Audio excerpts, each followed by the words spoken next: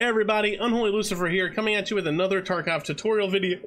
Take two. Hello everybody, Unholy Lucifer here, coming with... Uh, blah, blah. Alright, they say third time's a charm, so here's third time's... Third time. Hello everybody, Unholy Lucifer here, coming at you from the amazing internet. You can catch me uh, Twitch, catch me on Twitter, TikTok, Instagram, all those amazing places. Uh, don't forget to like and subscribe and tell me what you think about the video. I'd love to hear it. We are always trying to fine tune and better ourselves. And the only way I can do that is with your help. So please let me know down below all the things. Today, we are going to be talking about the workbench. And when you're first getting into Tarkov, one of the things I rush is the workbench. Because once I have my workbench, I can then start fine tuning my rifles to be how they were before. And now that they've changed it to where your presets don't reset on a wipe, you can start building your meta guns a lot faster. So today, I'm gonna teach you how to make some of my meta guns. Okay, so starting out with the workbench, if we just had a wipe this go around, or if you're a brand new player to the game, what you're gonna need for that workbench to start getting it going, to start crafting weapons is you're going to need to have security level 2, fence level 2, 5 phase arrays, one electronic motor, and 15 wires. Now, the phase array, the electronic motor, and the wires is what's used to craft the workbench. Security level 2 and vents level 2 are what other things inside your hideout need to be in order for your, you to unlock the workbench. Okay, once you have your workbench done, if you click on workbench, it's going to show you craftable that you can make within your workbench. However, that's not the only thing it does. If you go to your weapons and you right click on your weapons, you can then go to edit preset. Now, when it goes to edit preset, it's going to take you to an area where you can see your gun, you can see the parts that it has, uh, the vital parts, the functional parts, the equipment parts, and then you also have a spot where you can use only available parts. So that whatever you have in your inventory um, it shows you what you can and can't use. Another nifty thing within here is if you go to the bottom left corner there's a little information tab. Now when you click on that information tab it gives you everything almost possibly the words are hard. It gives you everything you could possibly want to know about your gun uh, as far as the weight the ergonomics, the accuracy, the sighting range, the recoil, the muzzle velocity, you know,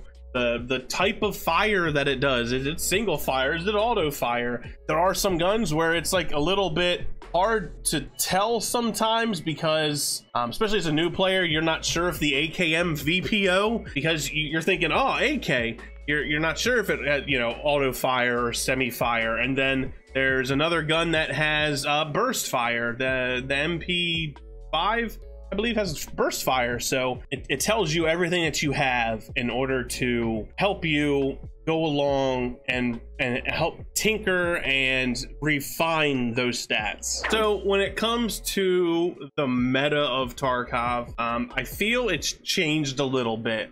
Uh, last wipe was a very big Val VSS meta which they are still pretty meta guns, especially if you go into labs. But I feel that there has been a slight shift in the way some guns are doing and how some things work out.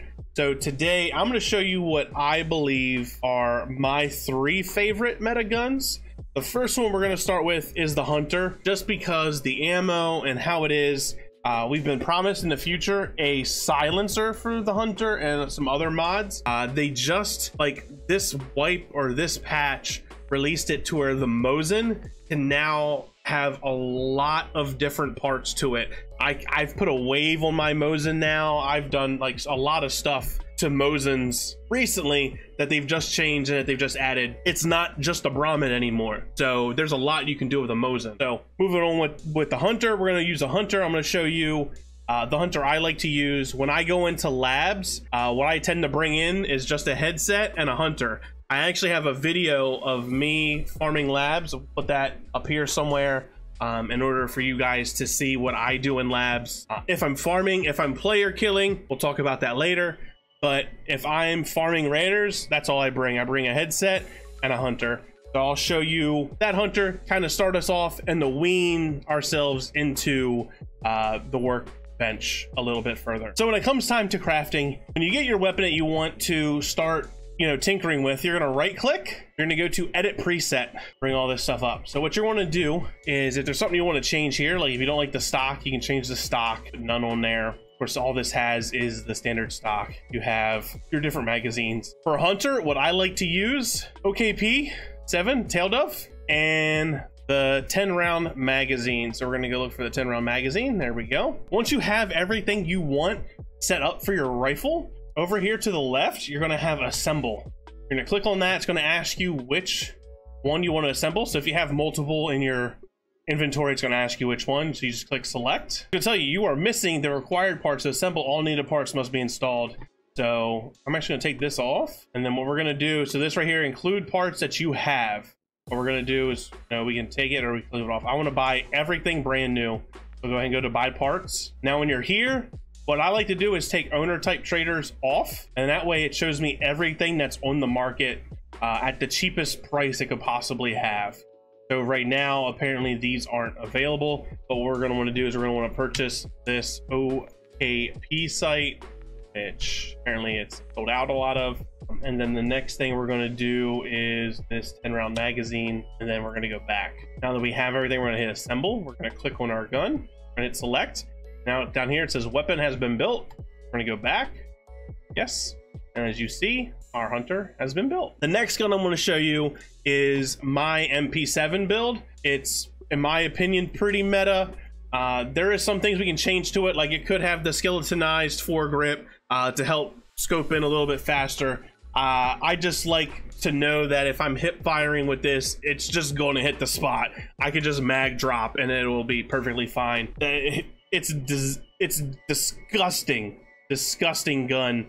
Um, and you know, with the with the rate fire of 950 rounds per minute, it it's disgusting. When it comes to my MP7, this is the build that I like to use. Um, I like using the 40 round magazine.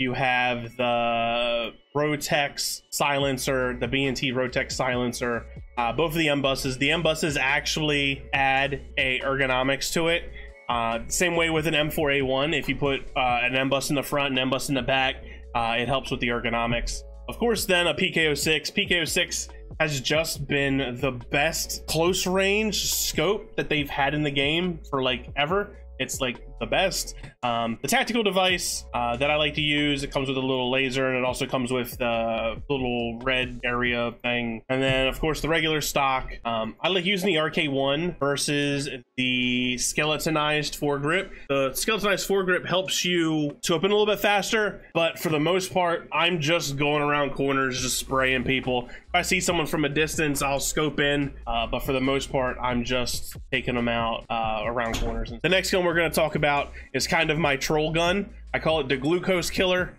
Um, I have a friend uh, that I play with a lot named Diabetes, and we were just kind of screwing around uh, for a gun.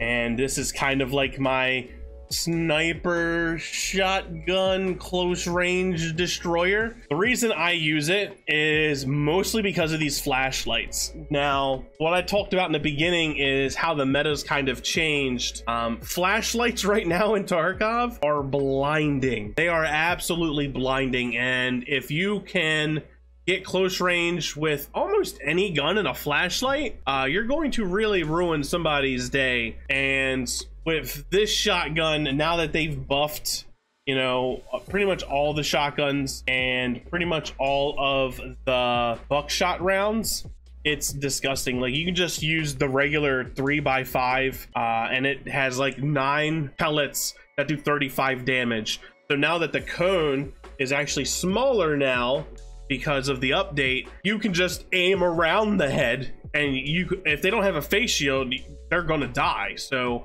uh, the update for shotguns has been disgusting. The last gun is my little glucose killer, as I like to call it, and it is probably my favorite shotgun to use just because depending on what map I go on, not too many people can handle the flashlight. I, if I'm just like wanting to destroy people. Like this will be fun in labs to take in. It's just a fun gun, especially with the hammer. You have close range, you have long range. Of course, the muzzle velocity isn't very good, so Uh, the curvature of a long distance shot's going to be worse, but it still is a very fun gun to use, and it does hit people from a long distance away. Um, being as it, uh, for the most part, I do use AP20 slug rounds.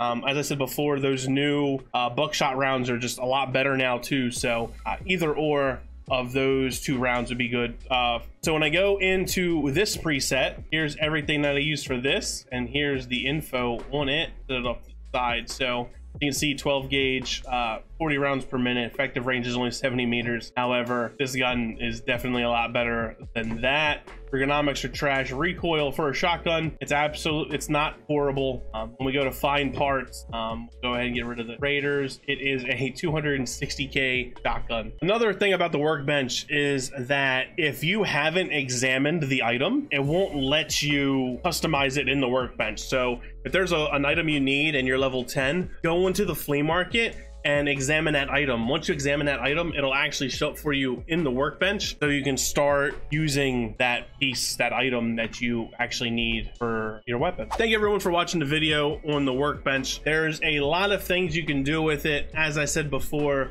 uh, when you're building your guns to help fine tune some things. Uh, I've actually reached out to some people uh, in hopes of changing what some of the workbench does. Um, I feel it could be so much better if you are in here looking at parts and it tells you what it's going to change. Like if you change the foregrip, what is it actually going to do? Is it going to red the er-, ergonomics or like blue? You know what I mean? Like if you're hovering overing it, I, I feel like it should tell you, hey, this is what's going to change on it. Uh, so that way you're not switching it and then checking and then having to switch it again. Uh, I feel like hovering over it. It's it's just uh words, Lucy. The words. It's just a uh, life. What's it called? Uh, um. Wow. Something. It was something of life. What's it called? Something of life.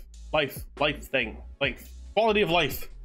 Quality of life change in the workbench. Quality of life, that's the word I was looking for. Pretty good quality of life change that they can add to the workbench. As we've done, done every week, every Monday, uh, there is a hidden word somewhere in this video. Go ahead and look for it. If you have any questions, let me know. I showed my three, what I believe to be meta guns uh, for this white Um, of course, if you want to see what I use for my Valor VSS, um, it's basic standard uh, SVD low PK6 with a skeletonized grips. I can uh, get in there close, but for the most part, thanks everyone for hanging out. Find a secret word, and if you have any questions, comments, don't forget to comment down below. I will answer all of them. Doesn't matter what it is, just ask away. Thank you guys for hanging out. Don't forget to like and subscribe. Peace out.